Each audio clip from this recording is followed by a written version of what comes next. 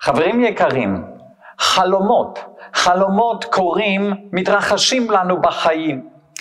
בחלק השני של ספר בראשית יש רצף של חלומות שונים ומשונים. יש החלומות של יוסף, של שרי פרעה, ואת החלומות של פרעה בעצמו.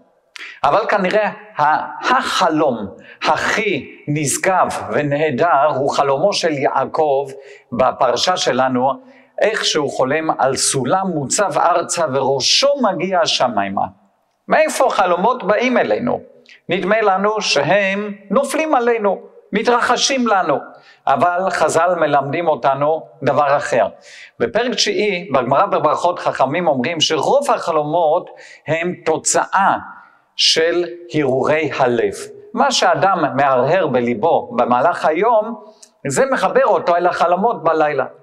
וזה מלמד אותנו דבר גדול מאוד על יעקב אבינו. רבי צדוק הכהן מלובלין נהג לומר, איפה שמחשבות האדם, שם הוא כל האדם.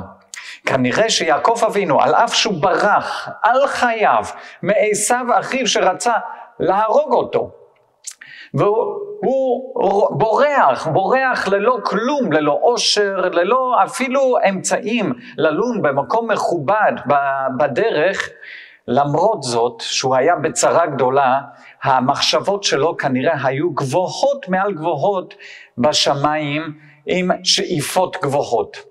ולכן הוא חולם על סולם מוצב ארצה, וראשו מגיע שמיימה, מלאכי אלוקים עולים ויורדים בו, והשם ניצב עליו, מדבר אליו, מתגלה ומראה לו את הדרך אל העתיד הזוהר, אל הייעוד ועל המטרה שלו. שבעזרת השם נזכה תמיד לחלום גדול ולהיות מחוברים במחשבותינו אל שאיפות גבוהות, אל מטרות נעלות. שבת שלום.